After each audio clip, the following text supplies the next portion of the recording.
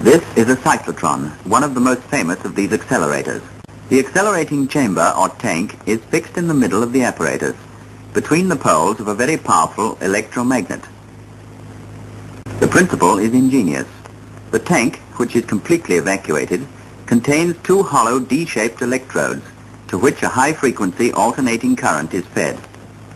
Minute quantities of the gas which is to provide the ions are admitted.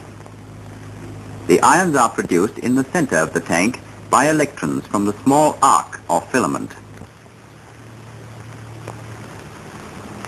Once produced, they are sucked into one or other of the Ds by the powerful electric field. But this movement of the ions takes place between the poles of a big magnet. Consequently, the ions will travel with a circular motion in the magnetic field. The alternating voltage accelerates the particles each time they cross the gap from one D to the other so that they are whirled round faster and faster until finally they are led off towards the target by means of a charged deflector plate. Here, an element is being set up and bolted into the target chamber ready for bombardment. Nowadays it is known that almost all elements, if bombarded by neutrons, can be made radioactive for varying periods. Irene and Frederick Joliot-Curie first produced artificial radioactivity, and Professor Fermi made brilliant advances in this field.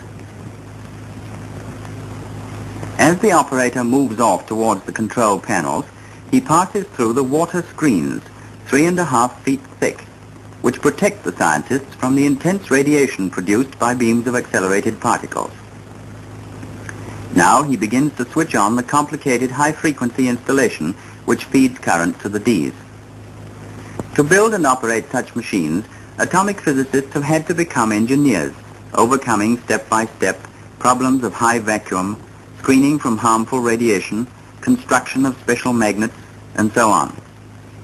For the production of neutrons, deuteron beams are usually found the most convenient. When the deuteron strikes the target, it splits up, liberating a neutron, which easily penetrates to the nucleus.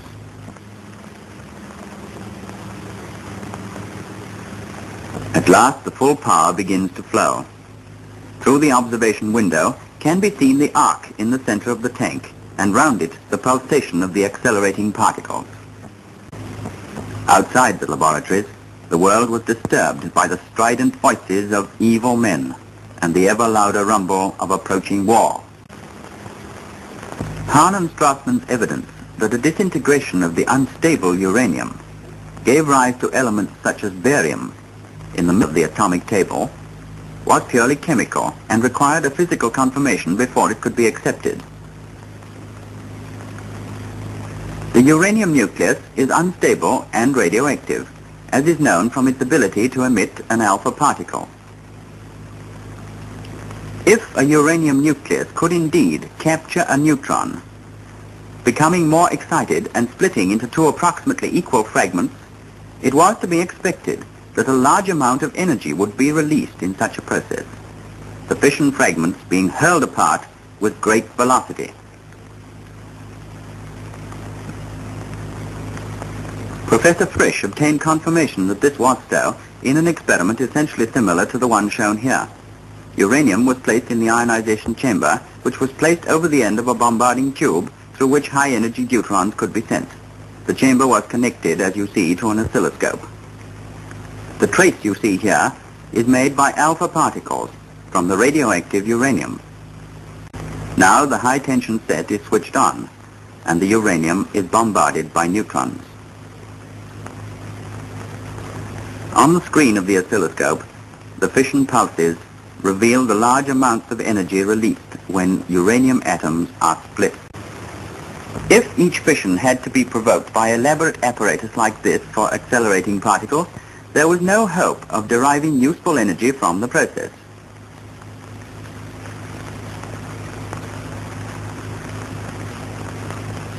But each fission was found to be accompanied by the release of a few neutrons. One neutron had been used to provoke the fission. The fission itself produces more than one neutron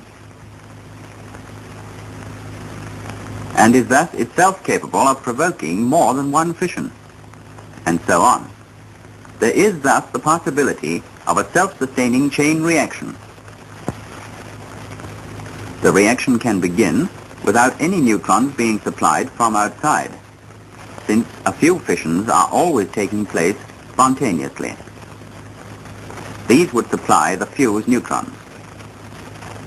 The possibility of a fast chain reaction suggested an atomic bomb. There are two isotopes which make up the bulk of natural uranium. The atomic weight of one is 238, of the other 235. Over 99% of natural uranium is U-238. U-238 undergoes fission only with very fast neutrons. Many neutrons are scattered by uranium atoms and lose the speed necessary to cause fission. So, a divergent chain reaction will not take place in uranium which is predominantly U-238. U-235, on the other hand, undergoes fission with neutrons of any velocity. It seemed possible that a controllable chain reaction might be achieved by using slow neutrons to cause fission in U-235. Using pure uranium metal containing both isotopes, a pile was built, in which uranium rods were embedded in a mass of pure carbon in the form of graphite. Neutrons produced in the uranium were slowed down by collisions with the light atoms of the carbon the moderator as it is called, giving them a chance to cause fission in U-235. A slow controlled chain reaction was achieved on December the 2nd, 1942.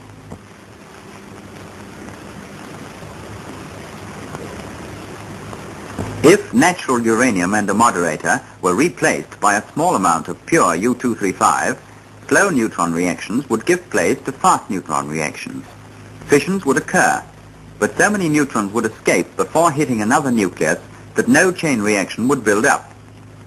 But if the amount of U-235 became larger than a certain critical size, a fast chain reaction would take place in less than a millionth of a second. This would produce a violent explosion. A simple mechanism for an atomic bomb thus suggests itself. Take two pieces of U-235, each smaller than the critical size, but which, if placed together, exceed that size. They are driven together, and so U-235 became bomb material number one, and its separation from U-238 became a war priority. The behavior of U-238 in a pile is also of great importance. Slow neutrons are sometimes captured by U-238. No fission is caused, but this nucleus becomes U-239. This is unstable. A beta particle is emitted, causing a change to a new element with different chemical properties, Neptunium-239. This new element is also unstable. Another beta particle is given off, forming another completely new element, Plutonium-239. Now, Plutonium-239 has fission properties similar to U-235 and will be built up by this process of neutron capture and subsequent beta disintegration throughout the uranium in the pile. Being a different element, it can be separated by chemical means from the uranium and used also for a bomb. So, plutonium is bomb material number two. Huge plants for the production of pure U-235 and of plutonium arose in the United States. By 1943, it had become plain that Great Britain was fully extended in war production. In consequence, her nuclear physicists crossed the Atlantic to continue with American and Canadian colleagues the brilliant work already done. The main practical effort and most of its prodigious cost now fell on the United States, where very active research had been going on since 1939. Last, in the desert of New Mexico, the first atomic bomb was set off under conditions of great secrecy. Thousands of calculations, years of work, reached their climax in this moment of dreadful splendor. Within a few weeks, the bomb burst upon Japan, and the news of it upon a startled world, which has now seen this supreme destroyer in action five times in all. We are aware now of the compelling urgency of the situation created by the bomb. We know that war must be banished, or else our civilization may die, as Hiroshima died on that summer morning in 1945. The tale has been told in full by those who lived through it. A city destroyed in an instant, 60,000 people dead, many from flash burns, thousands more by blast, many from strange sicknesses caused by gamma radiation. For a short while, the world was content to accept the fact that atomic energy, by destruction, had brought peace. Then came the question, can this power be controlled to serve mankind? The core of the problem is to turn the atomic pile into an efficient heat engine. The release of energy in a pile results in the generation of heat. If the reaction is allowed to run fairly fast, a cooling system is necessary to absorb the heat. To control the rate of reaction, rods of cadmium or some such substance must be introduced which can absorb neutrons if lowered into the pile. Now, if the cooling fluid, probably helium gas, were passed through a heat exchanger containing water tubes the water could be heated up and turned into steam. Most of this part of the installation would have to be screened off by heavy concrete or water shields and operated by remote control. The steam could be used to drive turbo generators to provide electricity in a powerhouse or in a big ship. This adaptation of the atomic pile as a source of heat energy is now being tackled in the United States and Great Britain. The use of radioactive byproducts from the pile is also being investigated. From Dalton's theory to atomic power. It is a long road, but the landmarks are clear. With the atomic theory as a basis, a pretty complete picture of the elements of our material world was fitted together during the 19th century. The discovery of electrons, the realization of the nature of positive rays, the strange powers of X-rays revolutionized conception of the nature of matter and of the atom itself.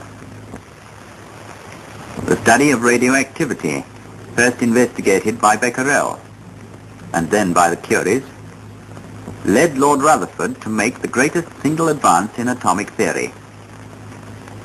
He pictured a small heavy nucleus in the atom round which the electrons revolved. In 1919, Rutherford discovered how to change one element to another by bombardment with alpha particles. He suggested that the nucleus of the atom might contain protons and uncharged particles of about the same mass. In 1932, scientists could say with certainty that the atom contained electrons carrying unit negative charges and a nucleus built up of protons carrying unit positive charges and of neutrons, uncharged particles equal in mass to protons, whose existence was proved by Sir James Chadwick. In 1932 also, Cockcroft and Walton split the lithium atom by bombardment with protons and found that mass could actually be translated into energy in perfect accord with Einstein's theory. Atomic disintegrations provoked by great machines became a commonplace of well-equipped physics laboratories.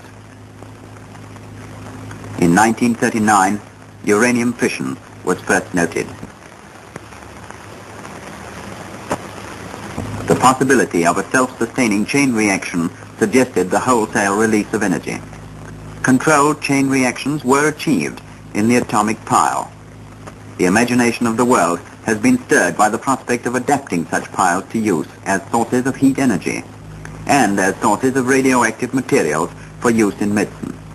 In research laboratories, the scientists are even now writing fresh pages in this unfinished story. But overall, the smoke of the atomic bomb hangs like a pall. If we are to reach the future that promises so bravely, the peoples of the world must see that this new power is wisely used.